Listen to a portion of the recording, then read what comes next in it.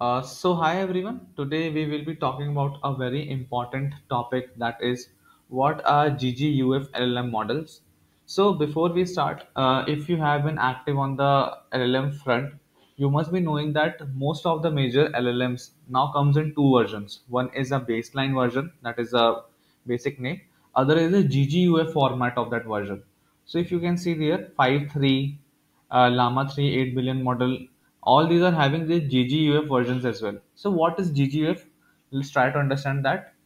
Both GGUF and GGML are file formats which uh, provides quantization to LLM models. Quantization basically helps you to reduce the model size and hence aid in faster inferencing of LLM models on and enabling them for consumer grade CPUs as well. So by consumer grade, I wish to say that personal computers also, which don't have GPU.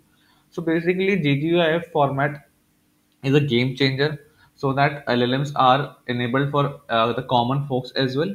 And if you have used the baseline formats of these LLMs into your local system without a GPU, you must be knowing the pain point. Like it takes at times half an hour or one hour to inference a single prompt. So that is why GGUF formats are very, very important. GGF format is very fastly replacing GGML format. So GGML came first.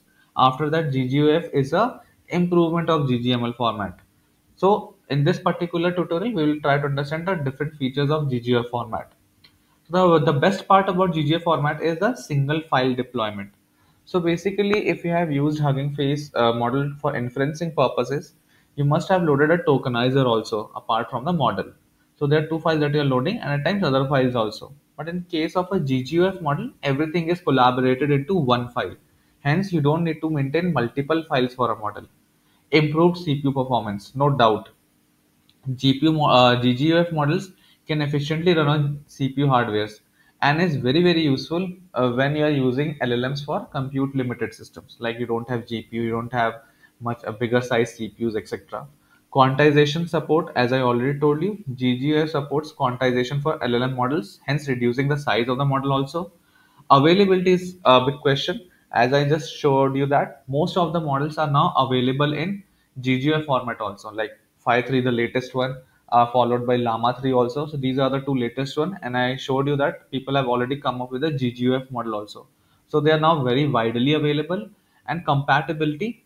Talking about compatibility, uh, GGML format that we talked earlier is only compatible with legacy systems and hence ggf is replacing it faster which provides better compatibility extensibility and performance so this is why ggf lm models are very very important because uh, if you're working on limited resources if you wish to use limited resources and limited memory and want to have faster inferencing i think ggf llm models should be your go-to solution rather than loading the entire baseline models. So, hi everyone. My new book, LangChain in Your Pocket Beginner's Guide to Building Gen AI Applications Using LLMs, is out now on Amazon.